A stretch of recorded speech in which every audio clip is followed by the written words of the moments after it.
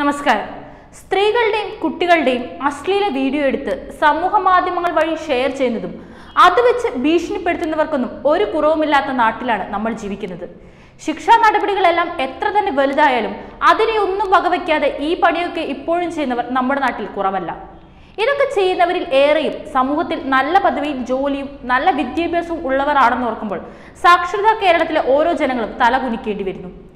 ഇത്തരത്തിൽ സൈബർ ലോകത്ത് കുട്ടികളുടെ നഗ്നചിത്രങ്ങളും ദൃശ്യങ്ങളും തിരയുന്നവരെയും കൈമാറ്റം ചെയ്യുന്നവരെയും കണ്ടെത്താനായി പോലീസ് സേന നൽകിയ ഓപ്പറേഷന്റെ പേരാണ് operation P hunt twenty one point one എന്ന നമുക്കറിയാം. എന്നാൽ കഴിഞ്ഞ ദിവസം പോലീസ് നടത്തിയ സംസ്ഥാന വ്യാപക പരിശോധനയിൽ ഇരുപത്തിയെട്ട് പേർ അറസ്റ്റിലായിരിക്കുന്നു. മുന്നൂറ്റി കേസുകൾ രജിസ്റ്റർ ചെയ്തു. ജില്ലാ പോലീസ് മേധാവിമാരുടെ നേതൃത്വത്തിലുള്ള മുന്നൂറ്റി പത്ത് അംഗ സംഘം ഞായറാഴ്ച പുലർച്ചെയാണ് raid ആരംഭിച്ചതെന്ന് cyber dome nodal officer A D G P Manoj Abraham അറിയിച്ചു. കേരളത്തിൽ നാനൂറ്റി എഴുപത്തിയേഴ് കേന്ദ്രങ്ങളിലാണ് ഒരേ സമയം പരിശോധന നടത്തിയത്.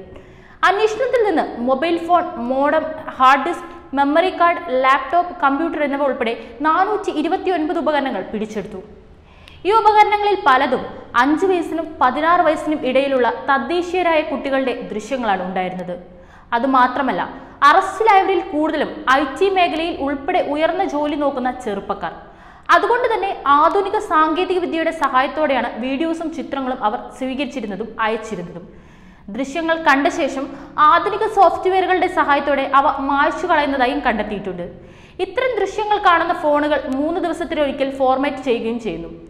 കുട്ടികളുടെ അശ്ലീല ദൃശ്യങ്ങൾ പങ്കുവയ്ക്കാനുള്ള നിരവധി ടെലിഗ്രാം വാട്സപ്പ് ഗ്രൂപ്പുകളും റെയ്ഡിൽ കണ്ടെത്താനായി. ഉപകരണങ്ങളിൽ നിന്ന് ലഭിച്ച ചാറ്റുകൾ പരിശോധിച്ചതിൽ നിന്ന് പലരും കുട്ടികളെ കടത്തുന്നതുമായി ബന്ധപ്പെട്ട കാര്യങ്ങളിൽ ഉൾപ്പെട്ടിട്ടുള്ളതായി സംശയിക്കുന്നു.